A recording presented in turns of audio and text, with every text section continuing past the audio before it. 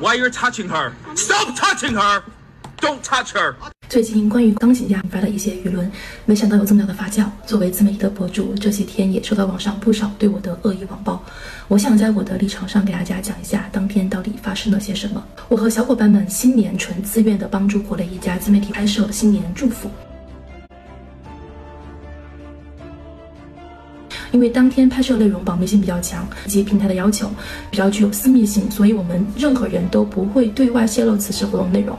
包括我当天去拍摄的时候，我也给我团队的小伙伴讲了，这次活动我提前没有告知大家。当场我们等待的时候，并不知道他是在商业直播，对方也并没有在开始前做任何的提示，甚至在开始前还用手机拍摄了我们所有的人，因为我们当时是为了拍摄中国新年祝福，都拿了中国的小红旗。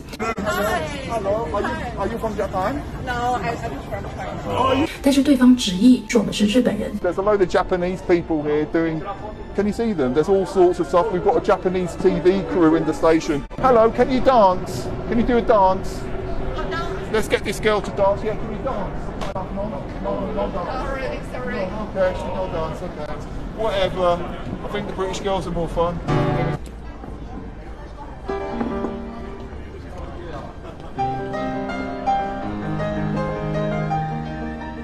并且说我们的棋子是 communist flag 这个词汇它是具有一定争议性的这个词并不是很礼礼貌。但我当时也觉得可能他不懂吧也没有跟他有更多的一个争执。Sorry. We're not China. And that's what our forefathers fought. 之后，墨镜先生开始演奏的时候，我们小伙伴也陆陆续续都到了。原本以为他只是路人啊，来玩几首曲子就走了，一般大家可能就弹个几分钟，但是他就一直占用着钢琴。之后我才意识到哈，这个在很后期了，他其实是一个有管两百万的博主。我们当时等了大概四十分钟之后，我的小伙伴就让我去礼貌性的问一下啊，到底他还要用多久？但是并不是说叫停他的使用，我是在他一首曲子结束后才问他的，并并不是像他说的中途扰乱他的音乐，Chinese stop his music，这个是完全没有的。然后我去问他，他的助理就一直来拍我。那个时候我们我才意识到，他可能说是。这个自媒体的博主在拍视频，但是当时没想到他是在做直播，所以我也就问了一下，这个能不能删除这一个视频？因为我们今天内容是 non-disclosure 的，它不是能够提前公开的。然后他一直在问我为什么呢？是因为 Chinese government 吗？如果不删除的话，那会怎么办呢？China 会诉他吗？This is. It's not disco. Yeah, not, not It's not disco. It's, not uh? 他尝试就是去说一些让我真的就当时不知道我该去说什么。而我的小伙伴们他们看到这个情况，有就一个女同学跟一个男同学，他们就过来就问他到底是什么情况。他在沟通的过程当中也是试图去拉我们另外一个女同伴手上的国旗，但之后在他助理的视频里面并没有看到这一步，他们当时就只拍了上半身，上半身你能看到他的。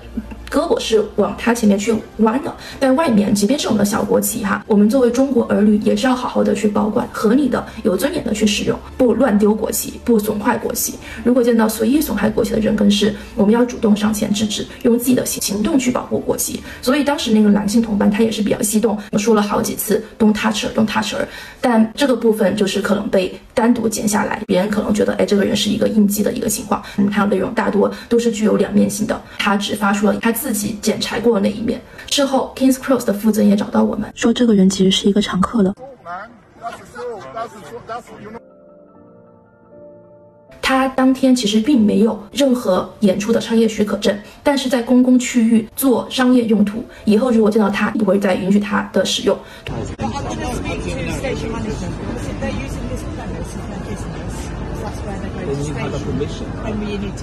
同时警察也在尽力帮我们要求他删掉关我们的视频但是他在未经我们的允许的情况下还是把我们的视频上传到各个平台。我想把我所经历的感受分享给大家愿世界充满爱与和平也感谢此事件中帮助我的海内外的朋友们再次感谢大家。